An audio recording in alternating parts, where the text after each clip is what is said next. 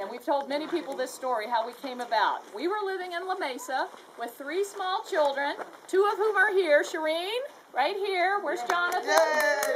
Jonathan's, son, Jonathan's pouring wine. And then the third son is in uh, Albuquerque in the Air Force. So three small children in La Mesa in a fixer house, and William and I had a dream. I wanted a horse ranch. I was going through a midlife crisis and I wanted to have horses. So we started looking in Ramona and found this place here.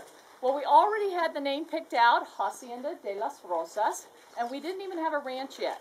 So people would ask us where this place is, and I'd say it's right up here, but one day it's going to be real.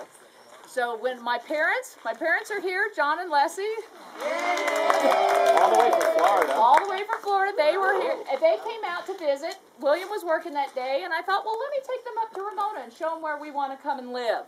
So my dad and I can take about three hours with each other in the same car, and we decided it was time to go home. But my dad saw one more sign for hours. sale, and he said, eh, maybe because we're much alike. So he said, let's go up this driveway. And you've seen how long the driveway is. You can't see the house. So I'm like, no, Dad, let's go. I'm tired. He's like, no, no, let's go up. So we drove up, and as I rounded the corner to the home, we almost hit the owner who was walking across his driveway.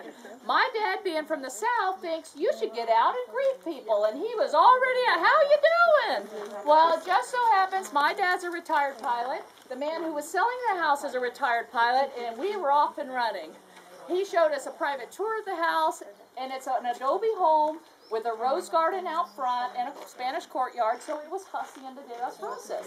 So I called William and said, We have to get this house. I found the house.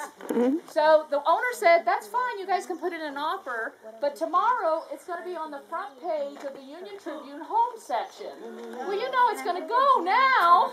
So William and I were here 7 a.m. with my parents the next morning, putting in full price offer. We want this house. We haven't even listed the other house for sale yet, but we are buying this house. So we went home, started fixing up the fixer upper really quick, paid three mortgages for four months because we had to take all the cash out as a down payment. Had a very scary moment there, and then it finally closed, and Hacienda became.